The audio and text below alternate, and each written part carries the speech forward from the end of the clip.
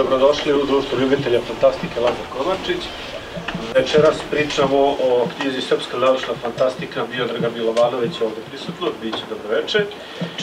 I izdavača Bobana Kneževića, ovde prisutnog Bobana dobroveče, koji je takođe bio jedan od istraživača u kopanju po knjigama i papirima da se nađe primarna građa za ovo izučavanje. Ovo je, evo kako je već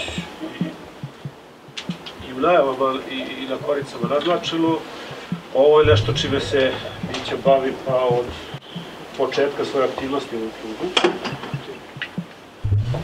Zajedno sa Bobonova to je pokušaj da se u nekakav kontinuitet stavi ili makar na papir da se stavi šta ima iznad od naučne fantastike ovde kod nas.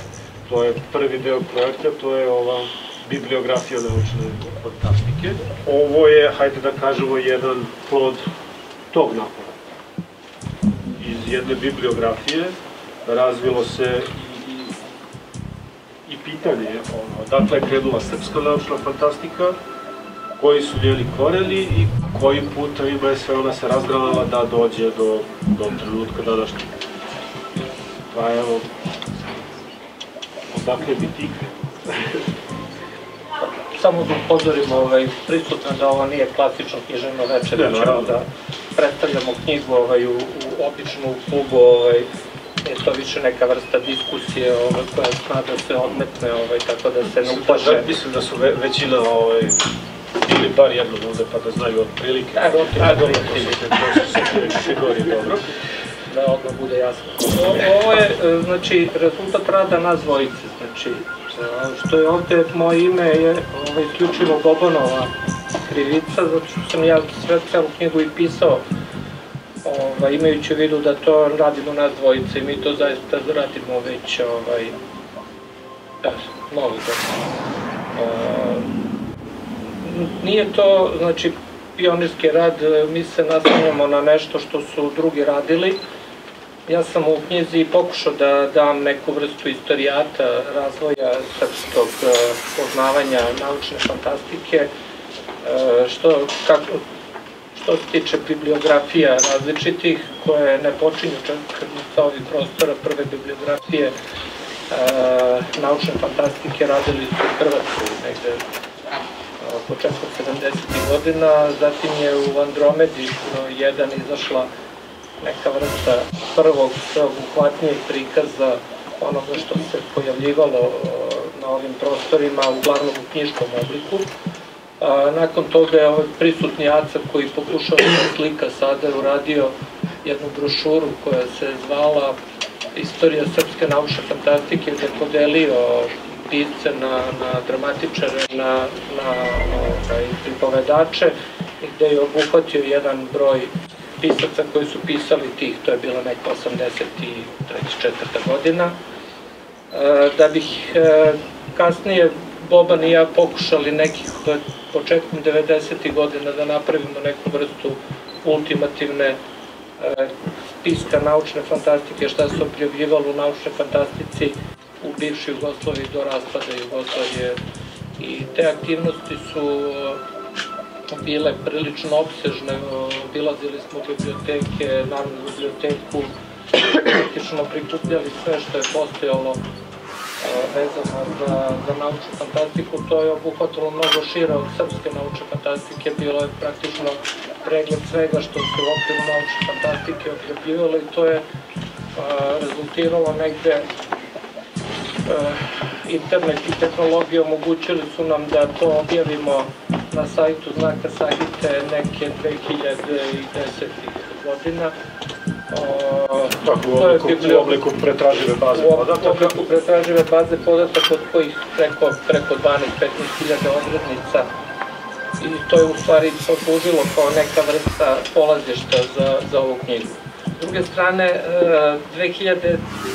godine neku sličnu ideju imali su i u Hrvatskoj je novo pokrenuti tada časopis, književni časopis Ubik, e, koji su pokrenuli Žiljak e, i, i kompanija u, u Zagrebu, književni časopis za naučnu fantastiku, oni su uradili neku vrstu e, pregleda istorijata Hrvatske znanstvene fantastike, a za četvrti broj me je pozvao, znajući da, da ja radim neku vrstu tih bibliografskih prikaza i da sam se bavio prikazivanjem e, srpske naučne fantastike. Žiljak me zamolio da napravim prikaz srpske naučne fantastike koji je rađen po istoj metodologiji po kojoj je rađen hrvatska naučna fantastika, to je bilo da se u određenim e, vremenskim periodima daju karakteristike e, onoga šta se, kako se razvijala naučna fantastika u Srbiji.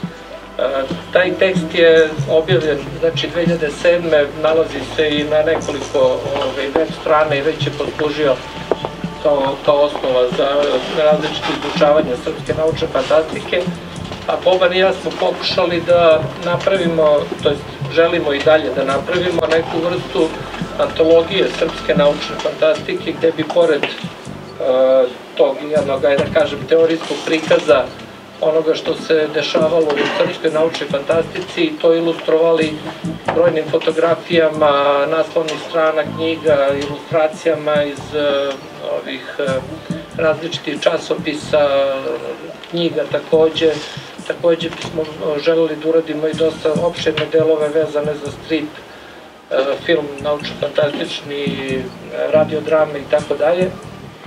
Međutim, kako se taj posao otegao, kako ovaj, postoji opasnost da ovaj tekst koji sam ja pripremio negde 2015. godine e, vrlo brzo zastari zbog e, jako velikih, jako velikog broja knjiga koji su u poslednje vreme objavljuje i o, samom činjenicom da naučna fantastika ide u nekom kreće se u različitim pravcima, želja moja je bila da na kraju ovaj, taj prvi deo, uvodni deo antologije prikažemo u obliku knjige i dogovor je pao da, da, ovaj, da, to, ovaj, da to bude praktično ova knjiga.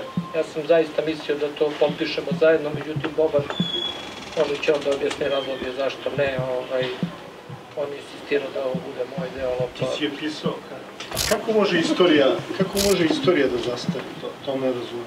Može, zato što e, ne može da zastari istorija, može da, da, da, ovaj, da se e, određene stvari tako brzo dešavaju, ne želim da knjiga bude neaktualna. Znači, e, Ako ti radiš zaključno sa krajem 20. veka, ti to možda napišeš i za 50 godina, a ovaj kad budeš u penziji, ona neće zastareti. Pitanje da li će to nekoga zanimati, Zanimati, da, da. je sad drugo, ali kako je koncipirana knjiga? Znači, knjiga je koncipirana tako da ima... Ona uvod- definiše šta je srpska, pa onda šta je naučna.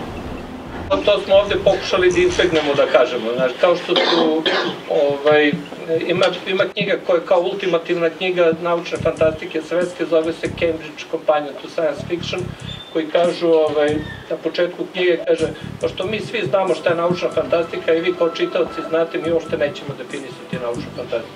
Tako, pošto, Ajmo dalje. pošto, pošto, ajmo dalje. Znači, ovde su, pored srpskih i crnogorskih pisci. Taj uvodni deo sadrži četiri dela. Znači, prvo sam, ajde da kažem, pokušao da definišem šta je to naučna fantastika, što nije ni malo lako. I taj deo ima i najviše primedaba od ljudi koji čitaju. E, nakon toga je sledilo i, i sam pokušaj da, e, da postavim naučnu fantastiku u jedan korpus e, literature, da li je to fantastična ili realistična književnost, tako da je jedan, jedno, jedno šire poglavlje posvećeno tom pitanju koji dalje ostaje kao, po meni kao dosta otvoreno pitanje, da li je to fantastična književnost, realistična književnost ili kao što Suvin tvrdi da je to nešto na sredopeći između te dve književnosti.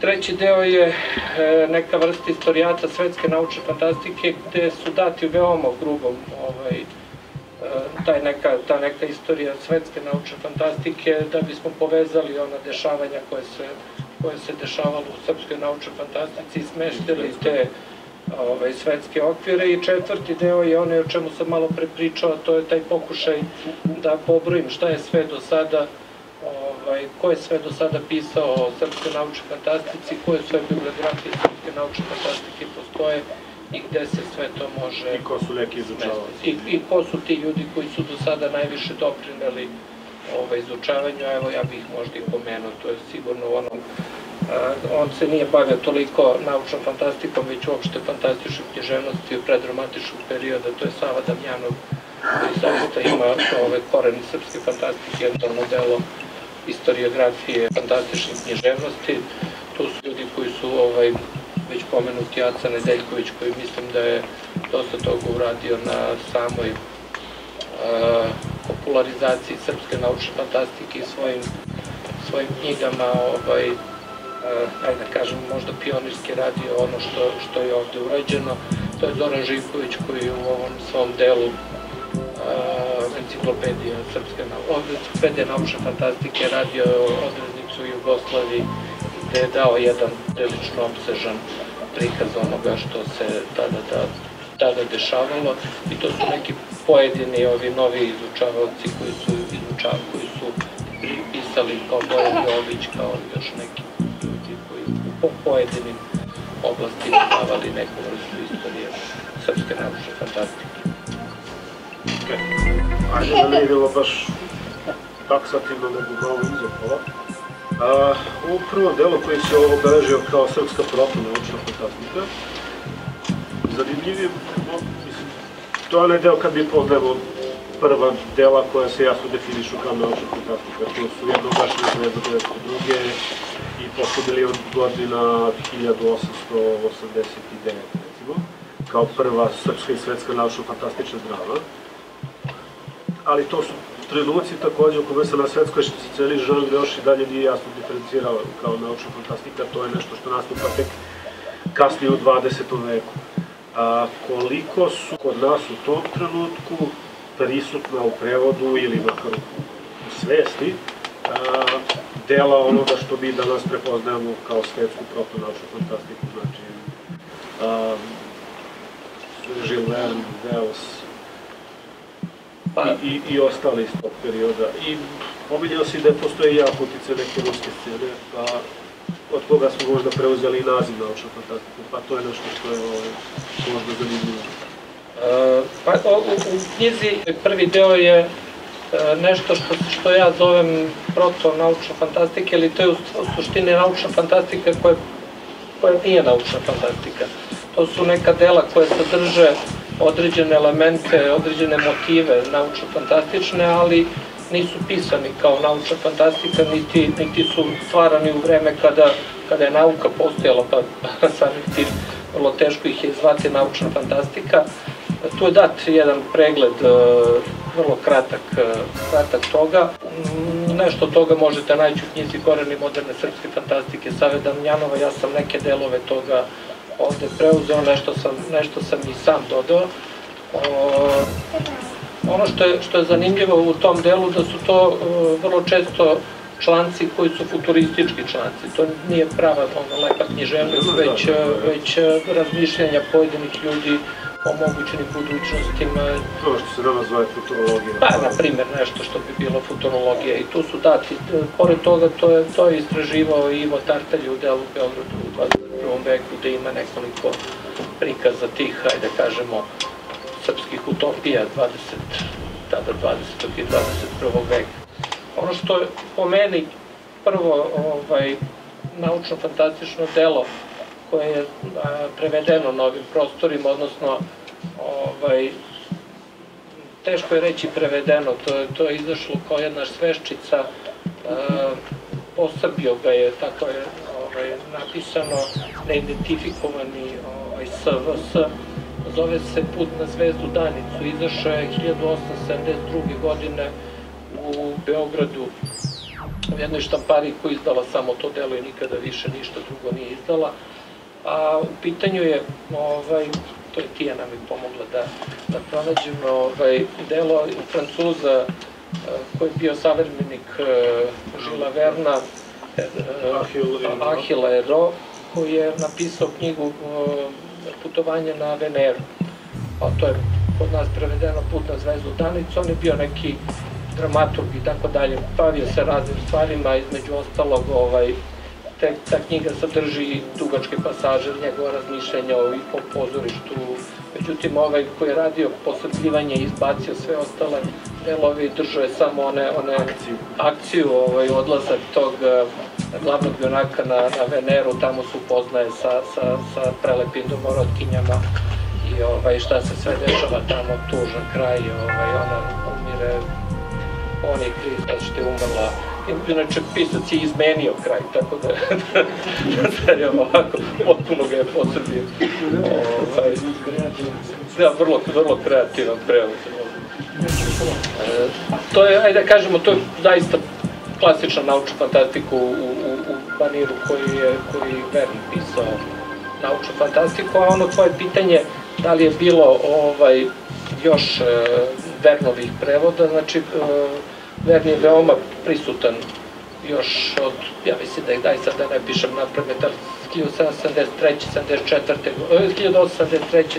74. godine se prevode ovi njegovi, njegovi romani, već 1085. godine ima čitav prikaz o, o njegovim romanima od nego 20 strana u jednom našem književnom časopisu gde se analizira njegovo delo, analiziraju se ti ta fantastična putovanja, kritikuju se prevodioci, to na naširoko, pet strana kritike prevoda, kako prevodioci katastrofalno prevode.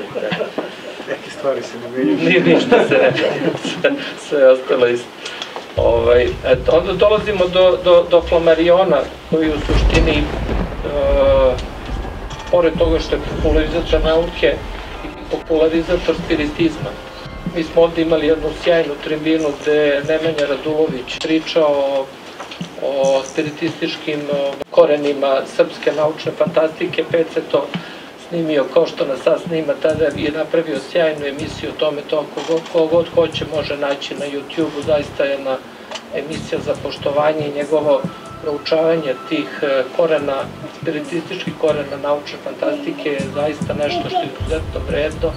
I ono zaista postavlja jedno veliko pitanje da li je jedna ugašena zvezda koji, po kojoj je naš klub nazvan, klub naučne fantastike, da li je to zaista naučno fantastično delo ili možda prvi spiritistički roman u srpskoj književnosti.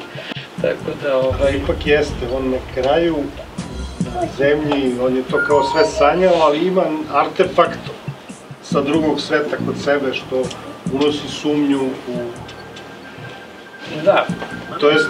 tim da, s tim da, u- Nije ni to tim za, da- za shvatanje tog vremena. Znači, tim da u to vreme spiritizam i naučna fantastika je bilo jako, jako dosta blisko. objasnilo kao jedan scientifički pristup ezoteriji, da kažemo, kao tako i kao pobijali su neku revoluciju duše, tako da sve ima nekako naučni metod u, u cijeloj toj priči, tako da može se ovaj... Ono što je zaista prva, prva, prvi, prvo naučno fantastično domaće delo koje ima sve te elemente koje je možda i, možda i najkvalitetnije od svih naučno fantastičnih knjiga, jedno domaće, kad, kad, kad abstrakujemo ovaj, sve ostalo i kada svestimo glupotu ovaj, svetske književnosti, to je ovaj, posle milion godina Dragutine Ilića, koja je drama koja je i sada aktualna, koja je, ovaj, ne gubi ništa vremenom, za razliku od mnogih ostvarenja koje su ovaj, vremenom izgledala, ta njegova drama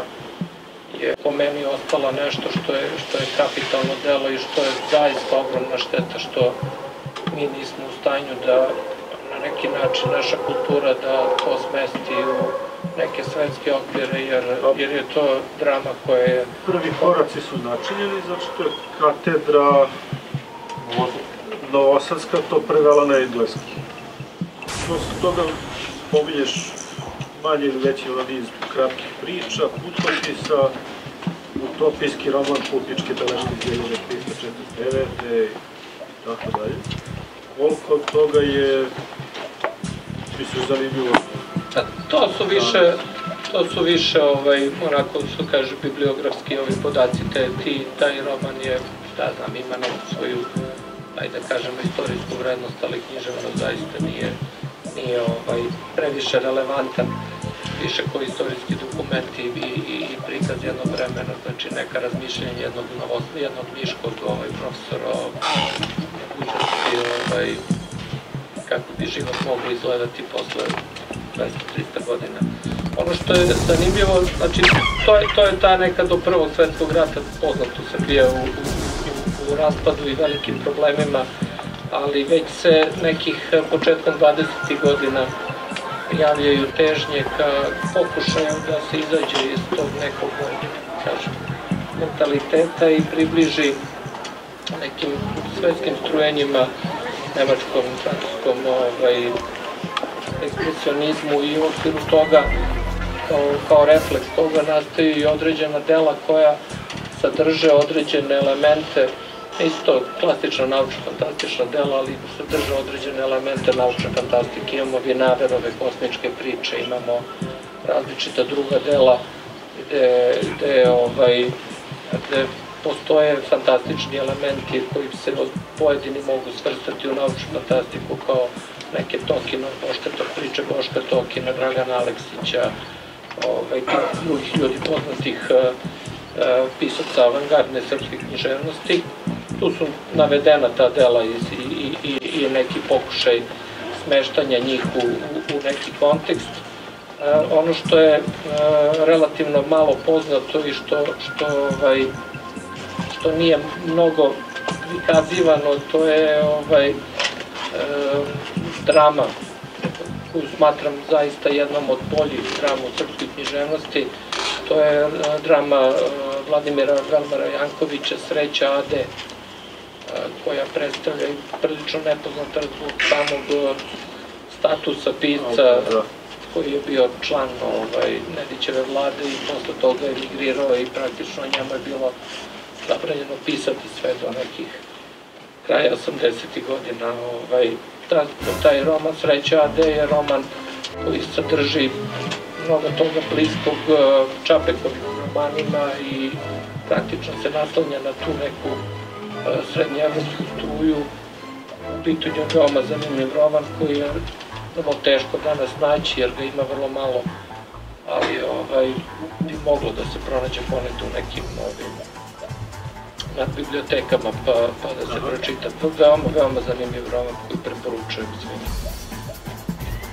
Slede takođe, ajde da kažem, nekoliko romana koji imaju uh, elemente naučne fantastike određene, znači tamo negde krajem uh, 30. godina prednja drugog svetskog rata uslovila je pojam par romana koji analiziraju taj mogući budući sukob, u knjizi su navedeni uh, ti romani. Svetla Baskog, Stanka Kukića, tako, o tom, o tom, Banana Ratkovića, Mrtva straža, Mladena Đuričića. Mrtva straža je nešto drugo. Ovaj, Mladen Đuričić je poznat pisac koji je pisao već, pisao, on dugo je živao, 90 godina, i ovaj, bio je pisac uh, još od prošle Solovski front i, i, i sve te priče od tih balkanskih ratova.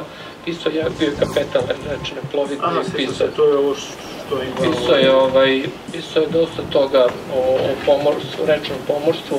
Ova knjiga je veoma neobična jer daje neku vrstu uh, mešavine fantastike i naučne fantastike gde se gde on daje neke historiografske E, činjenice o Beogradu i, i meša neku vrstu njegove fantazije o nekoj e, ženi koja je iz rimskog doba, koja se pre, njegova sudbina se pretpreće sa sudbinom te žene, znači sve to otišlo u neku vrstu klasične naučno-fantastične vizije budućnosti Beograda u nekom 21. veku, ve, veoma zanimljivo. Zanimljiv je ovaj odlomak koji si obično... Nije, nije, nije. Zanimljiv je ovaj odlomak koji si stavio u, knjigu koji malo se bliži čak na motivu kosmičke strane. Da, da, da. Vrlo, vrlo, vrlo, on vrlo, vrlo neobičan pisac u tom delu.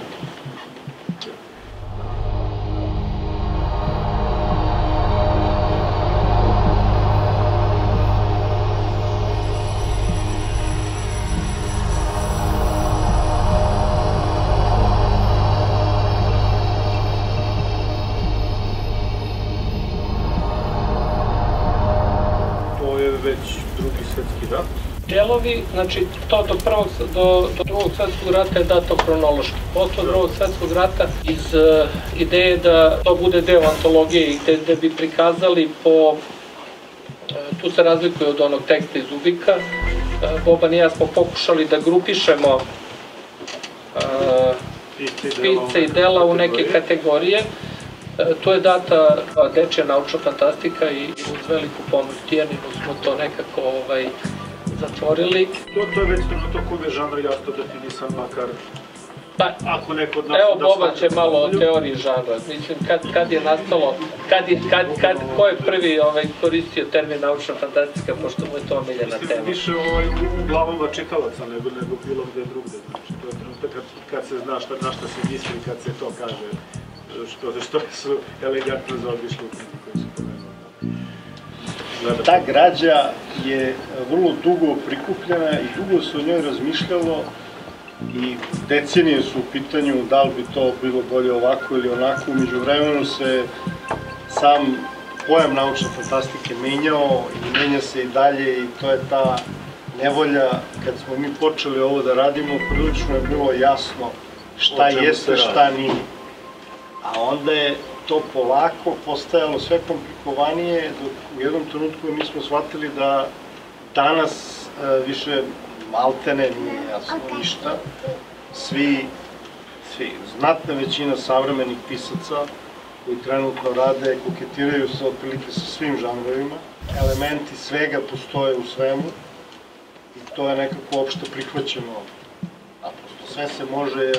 A, u jednom trenutku smo mi imali jednu lagodnu situaciju šta jeste, šta nije naučna fantastika, gde se moglo posmatrati a, izuzetno napredna tehnologija koja liči na fantastiku, zapravo možda jeste naučna fantastika. Najbolji primer za to je Amber od Zelaznije. To je čista naučna fantastika, jer oni pomoću nečega stvaraju neki svet. Oni ga stvaraju, oni ga ne izmišljaju, tamo nema mačeva, magije, sve što se događa e, se povinuje toj nekoj matrici.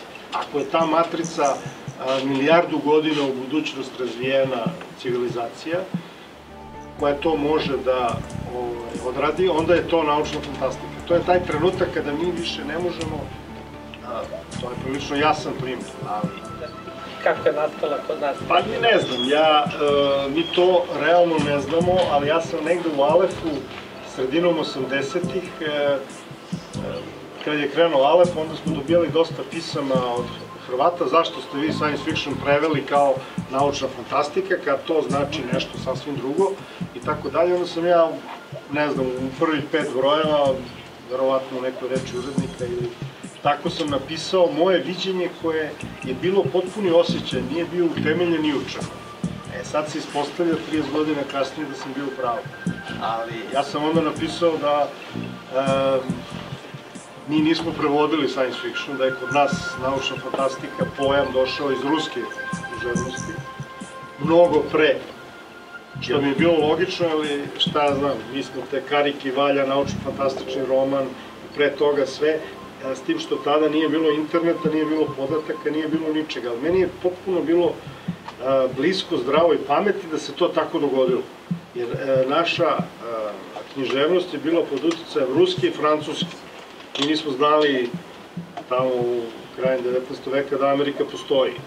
Jednostavno, e, literarno, književno, imao si jednu struju za Francuze i ta neka lepa književnost i na- naši časopisi su do pre 30 godina imali u zaglavlju na francuskom i tako to je jedno. Smatralo se e, da je francuski jezik umetnosti, književnosti i tako, a neki su naravno navijali za Ruse, to ta podela Zapad i Rusi od uvijek je bila i 500 godina, 1000 godina i zauvek i to je sudbina ovog prostora.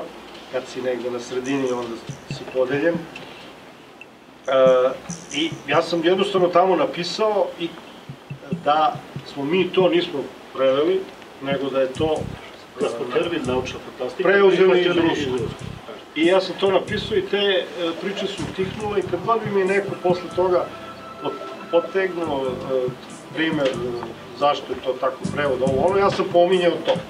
E sad se ispostavilo da Mića je došao do u istraživanju do potpunih dokaza da je to tako zaista i bilo. Da, znači istraži, ruska istraživanja, Pa, njihove E, naučne to je, fantastike. malo je to komplikovano. Oni, pod tim pojmom naučna fantastika, šta su oni podrazumevali u 19. veku? To sigurno nije ono što je što bi danas imao uh, Hugo Gersbach 26. kad je napravio science fiction. Imali su i sami Ameri neku svoju proto-naučnu fantastiku koju nisu zvali. Ovo je 26. seo i smislio slogan, sintagmu science fiction. I kraj. Ali, ali ta sintagma u potpunosti odgovara ruskom terminu naučna pa fantastika, skoro da. koja je kreiran tamo krajem 19. veka i Znači, 30 godina ranije. 30 godina ranije i upotrebljavao se I logično, meni je potpuno logično bilo da je to došlo Svakako naprosto ranije. od Rusa ranije. Da, tako eto, to, to, to, to je nešto što je možda A ima, novo. ima još jedna zanimljiva priča o kojoj, pored te neke zvanične književnosti koja se razvijala 20. i 30. godina, znači postojala je, kao što i danas postoji pored te neke književne scene, postojala je i paralelna scena koja je objavljivala popularne romane. Nisu blogeri, popularni romani, znači trivialna književnost i tako dalje. E, Ovo je bila neka, neka vrsta uh, kombinacije između trivialne književnosti i, ovaj, i ono što bi se zvalo glavnog toka. Postoje jedan veliki broj časopisa koji je objavljivao uh, sveščice u nastavcima. To su bile sveščice koje su svaka imala po jedan tabak, šeste strana, imali su uvek uh, lepu naslovnu stranu, jednu jedinu i prodavale su se posebno, uglavnom cena 1 dinar. Ovaj, I toga je pre rata bilo na gobile. Veoma mali broj toga je sačuvan danas, pošto je bilo štampano na novinskom papiru, deljeno, jedino ako bi neko koričio tako nešto, onda je, onda je ovaj, uspevalo da sačuva. Narodna biblioteka ima jedan broj toga sačuvan, ali najveći deo nema. Zanimljiva priča zašto to znamo. Znamo zato što je a, slovenački a, crkveni časopis a, neke 37. godine napisao jednu veliku ovaj, pobunu protiv takvih šunt petparačke literature. Imamo crnu listu od 117 romana koji su objavljivani od 1920. do 37. godine.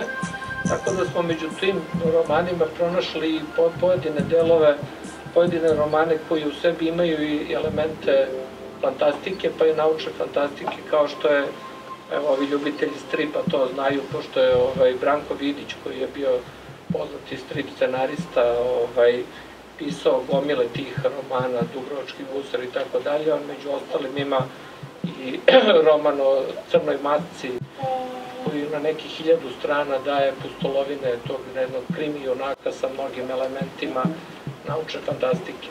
Ima jedna još zanimljivija knjiga, znači 28. godine u časopisu Ilustrovani list koji su Ivan Zrnić, njegova žena Jelena objavljivali. To je naj, najčuveniji časopis ilustrovani između dva rata od, od 1919. do, do neke 29. izlazio. Izlazio je u, takođe u tim nastavcima po 16 strana roman koji, koji se zove Gospodar bez gospodara. A zanimljiv je po tome što ovaj, je to čista naučna fantastika, jer je nekoliko godina se dešava u budućnosti i 28. godine su u jednom broju časopisa Ivan Zrnić žali da je policija ušla i zaplenila čitav, ča, čitav komplet tog e, časopisa drugog broja oko dojave da je tu neka konspirativna dela i ovaj, međutim taj broj, taj, taj časopis nije sačuvan i ne možemo ga nigde naći. Nadamo se da ćemo jednog dana doći do tog konspirativnog naučno-fantastičnog romana koji, koga ne znamo, samo znamo po nastavu. A dobro, Narodna biblioteka Ne. originalno je izgorala i tu je verovatno sve to, većina toga je bila. Te stvari koje su izgorale, nestalo je i to, nestala je čitava jedna istorija. A sad imaš tu spisak, ne znam, 120 knjiga koje oni ne preporučuju, a ti sad to ne možeš da nađeš nigde, ali imaš da su postojali. Naći će se. Znači, posle, posle drugog svetskog rata uglavnom su to Znači, budućnost nije bila baš nešto o čemu je bilo mnogo ovaj, pametno pisati, ako nije pozitivno. Ovaj, a pisci uglavnom naši su, za razliku od nekih drugih pisaca, izbegavali da to mnogo ovaj, pozitivno govore. Da imamo mnogo više prevode ruske literature, mada ni sa pre- Pa, preterivali, bila da. ta zvezda Kecna sve stale i ne znam. Bilo je prevoda Jepremova, Beljajeva, ovaj, e, već 50, 50. godina je e, počelo da se objavljuje i zapadna literatura, je znači među je prvima. gospodar svemira među prvima objavljivan.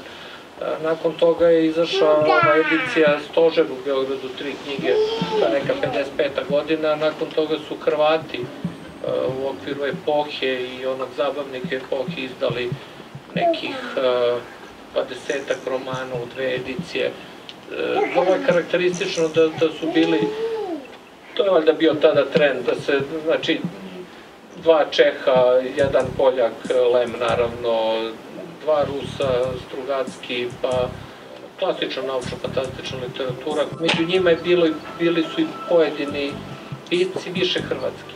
Tada bilo je ne, ne, nekih i srpski pisac, ali ne mnogo. Srpski pisci se pojavljaju tek negde kada je to počelo da se objavljaju u nekim roto, rotoromanima. I onda su se počeli objavljivati domaći pisci, to je, to je baš bila šum literatura, plavi zabavnik, zeleni zabavnik. Prvi časopis koji je, ajde da kažemo, osim tih tehničkih časopisa gde se to uglavnom pojavljivalo i, i, i tih roto časopisa je bio Kosmoplov. Kosmoplov je 67, tako, 69, 68. Znači, ovaj, časopis koji je... a, ti- 69, 69. posle sletova. Na Kosmopolu su prvi put e, e, pozvani ozbiljni pisci da, da dostavljaju svoja dela, tamo je izašla jedna Kosmopov je samo znači izdavao Biggs, Beogradski, Jeste. i uređivo ga od početka do kraja Gavrilo Kosmoplov je bio prvobitno zamišljen, e, on ima, to je prvi časopis kod nas koji ima u podnaslovu naučnu fantastiku. Tu je Esad Jakupović vrlo bitan jer on je i kao pisac nastupao i tu je objavljen prvi tekst u Kosmoplovu na četiri strane uputstva domaćim piscima kako pisati naučnu fantastiku, na šta obratiti pažnju i tako, znači ljudi su se time ozbiljno bavili. Da, A, tu je Esad Jakupović je bit- bitno ime i- iz fandova, iz izdavaštva, iz cele te priče, znači Pa, on je- je bio dosta aktivan. On je bio u suštini, e, Gavrilo Vučković je glavni i odgovorni urednik, a Esad Jakupović je bio izvršni urednik. Znači i za Galaksiju i za, znači on je bio ta udarna pesnica vodonoša koji radi, a Gavrilo Vučković je naprosto bio kao, ne znam, Predović, kao Jurković u Zagrebu, znači svaka novina, novinska kuća imala je glavnog i odgovornog urednika koji je bio za sva izdanja. Gavrilo Vučković je za sve i za E, pa onda on vremenom u Zagrebu je Borio Jurković u nekom trenutku krenuo da on uređuje uslo, ne znam, 30, 40, 50 brojeva Siriusa, on je rekao, to mu se osladilo, to mu bilo zabavno, on je potpisivao sve, a uređivao je ovo, ostalim stvarima se nije bavio. E, ovde Gavrilo Vučković je e, čovek koji je imao sluha za naučnu fantastiku, jer taj, ta njegova, njim je izašlo mnogo toga, kasnije smo imali tu Andromedu, postoje časopis Aš, koji ima u nastavcima romane. Praktično Andromeda broj 1 je skup svega što je izašlo u Ašu. I skoro da nemaš e, u Andromedi broj 1 ni jedan originalni tekst novo preveden. Sve je to i roman, hodnici vremena od e, Andersona izašao je u Aš. U samom Kosmopolu postoje tekstovi, intervju i neki tekstovi od Milorada Jankovića našeg ovog profesora, uvaženog člana. Pa, dobro, je čovjek,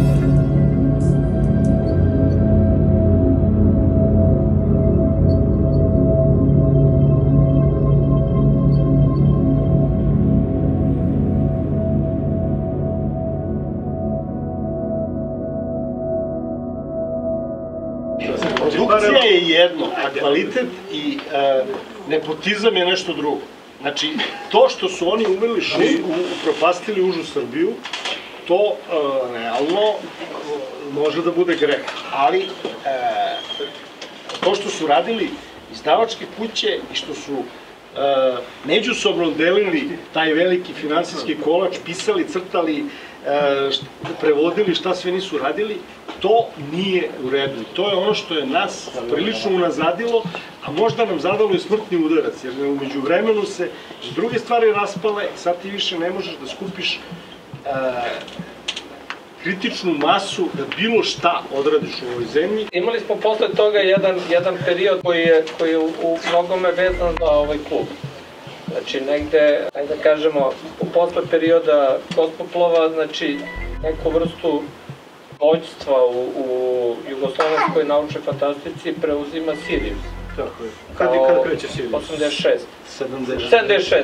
Kao, neki, kao neko osnovno glasilo u kome su objavljivane više od e, preko 10, 12, 13 godina su neprekidno izlazio časopis koji je imao pojedinim vremenima tiraže od e, više deseti, više, više desetina hiljada, ovaj, više od mnogih evropskih časopisa.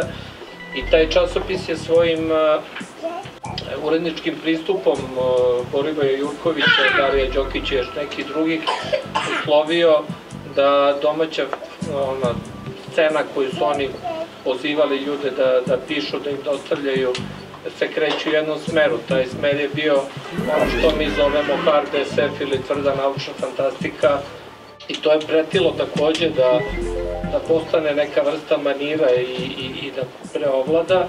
Prosto to, to su kasne 70. rane 80. To To, su- u tom trenutku u Americi ono kao New Tako tako je. To je vreme kada je to... Ta- kada je takva naučna fantastika u svetu već prevaziđena dobro, tada otprilike nastaje i, i, i klub Lazar Komarčić ovaj ovde gde sada sedimo, gde je ovaj, početkom 80. godina a, pokušalo se različitim e, internim konkursima, radom, a, ljudi kao što su Zoran Živković pre svega, ali tu je i Jaca bio, Boban, Radmilo i drugi ljudi Pokušavalo se poda da se uvuče u Sirius da se uzme neki dinar. S jedne strane, s da druge napravi strane, nešto kvalitetno druge strane da se, da se odmaknemo od tog pristupa koji je bio u Siriusu i da se polako sama tematika dovede na domaći teren, da pored same teme da se idejno to više veže za, za neku domaću srpsku književnost, tako da je nastao jedan krug ljudi koji je značajno izmenio pristup naučnoj fantastici kakva je do tada vladala. To je veliku imao naravno i Dragan Filipović sa, sa svojim sjajnim romanima. Međutim, tu, tu već nastaje taj lagani odmak od onoga što, o čemu smo na početku pričali, da naučna fantastika polako prestaje da biva dominantan žanr. Tu i Goran Skrobonja sa svojim ovaj, uticajem na domaću o, fantastičnu scenu gde je jak uticaj horora i onoga što se dešavalo u svetu Stephena Kinga, Clive Barkera i neki drugi pisaca, tako da mi ovde dobijamo jednu, jedan amalgam, jednu mešavinu različitih žanrova. Evo, ja sad baš pokušavam nešto što je možda i trebalo i ovde uraditi, ali evo, za, za tu neku buduću antologiju probaću da, da uradim na nekom ovaj, mnogo detaljnijem nivou. Tamni, e, u to vreme, znači posle raspada Siriusa i posle pokretanja Alefa kao časopisa koji je u Novom Sadu Boban uređivao, najveći broj priča koje su objavljivane u tom časopisu, u tom budućem Alefu i u budućim izdanjima monolitu časopisu Zako Sagite, toga je se dolazilo tako- takozvanim internim konkursima pre svega prvo u okviru Lazara Komarčića, a nakon toga u okviru e, znaka Sagit, izdavačke kuće znaka Sagit. I te, ti, te, te knjige, te, ti, te priče, pobedničke priče s tih konkursa objavljivane su u e, almanaku domaće naučne fantastike, prvi broj je bio almanak naučne fantastike Tamni Vilajet, i tih e, je bilo četiri, od 1988. do 1996. izašlo je četiri broja Tamo, četiri, četiri broja tamnih vilajeta. Prvi broj tamnih, tamnih vilajeta, kada se analiziraju priče, praktično sve priče, osim možda Rosevilla, koji sam imao jaku, jake elemente naučne fantastike, ali ja bih ga ipak svrstao u, u horor sa elementima naučne fantastike. Sve priče su bile naučno fantastične. U drugom broju je bilo donekle slično, možda sa, sa, sa jednim, dva izuzetka vi- više. Već treći broj je praktično možda tek 50%, ako i 50% priče bilo onoga što bismo mi danas zvali naučna fantastika, sve ostale priče su se bavile različitim oblicima uh, same fantastične književnosti sa uključima epske fantastike, sa značajnim hor, uticajem horora, sa, sa nekom nečim što bismo danas zvali urbana fantastika i, i čak i one priče koje su ajde da kažem, koji bi nazvali naučna fantastika imaju ovaj snažan uticaj nekih drugih žarova ili su preovlađujuća naučna fantastika, a, a, a imaju. O, o četvrtom broju da ni ne govorim, tad je totalno potpuno jedno mešanje žarova. Tako da smo mi imali od te jedne, jedne, jednog jezgra, te naučne fantastike sa, sa te domaće naučne fantastike, vremenom se to potpuno rasplinulo i krenulo je u različitim pravcima. I u suštini ova sama knjiga iako piše srpska naučna fantastika, ja sam probao da u onim delovima nakon 1990. godine pratim te druge pravce ovaj, naučne fantastike. Imamo značajan uticaj eh, nekog preklapanja onoga što bismo zvali žanrovska scena, jer je naučna fantastika dugo bila u nekom, nekoj vrsti geta gde se samo uglavnom pisalo između sebe ljudi.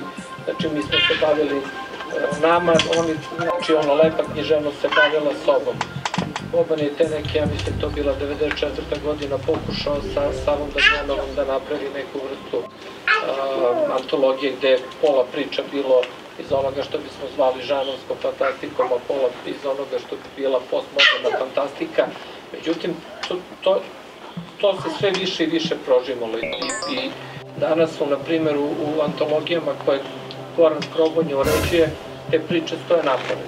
Znači, oni ljudi koji, su, koji se bave znači ajde da kažem uslovno, koji su potekli iz nekog žanovskog miljeja i oni ljudi tipa iz Sarajeva ili, ili, ili neki drugi koji su potekli iz tog postmodernog, to je napored u jednom, jednoj istoj i vrlo je teško danas napraviti neko razgraničenje. Kad bih ja sad pisao ovaj, bio, bio dosledan i pisao samo o naučnoj fantastici ovome, u delovima posle 1900, ajde da kažem u 2000. godine ima, ima toga veoma malo, čak i to malo što ima je neka vrsta možda možda anahrone i, i, i ne previše kvalitetnog par izuzetaka da, da, da, da sad ne navodim.